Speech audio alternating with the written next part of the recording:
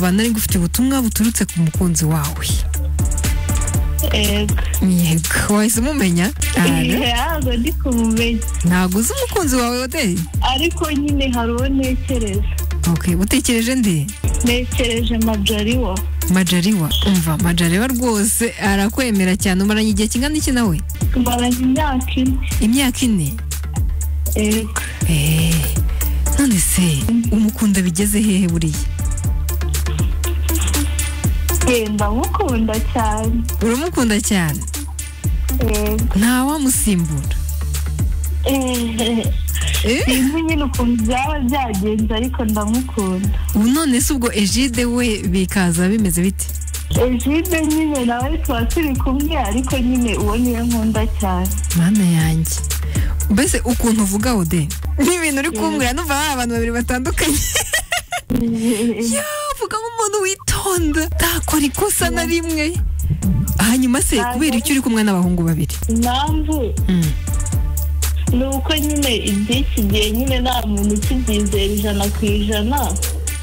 Nawe ndamukunda nyine n'inshuti yanjye ariko nyine ode umukunda nk'inshuti yawe umuntu mumaranye imyaka itandatu? Iyi tumaranye imyaka itandatu. Ubu rero ariko nyine ni uko mba mbona urukundo rwacu nyine nta ntego niyo mpamvu. Mumaze igihe kinini? Eh, tumaze igihe kinini ariko nyine ni uko mba mbona ntaho ruva ngo rukure. Mm, wa- waba warabiganiriye nawe se? Ahubwo twabiganiriye. Wahise wifatira icyemezo uhura na majari ufite gahunda.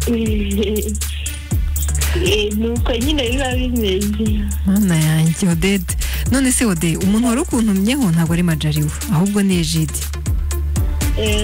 Ni wowe wakuntumyeho yamaye amagambo meza yo kukumvisha yambwiye ukuntu mumaranye imyaka itandatu yifuza ko umubera madamu ngo iyo atekereje umuntu uzaba mama w'abana be ni wowe atekereza.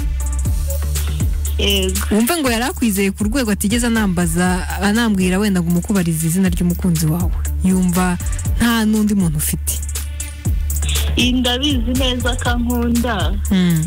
Ariko nyine ibyo byose bizaterwa n'uko nyine tuzagenda tubana.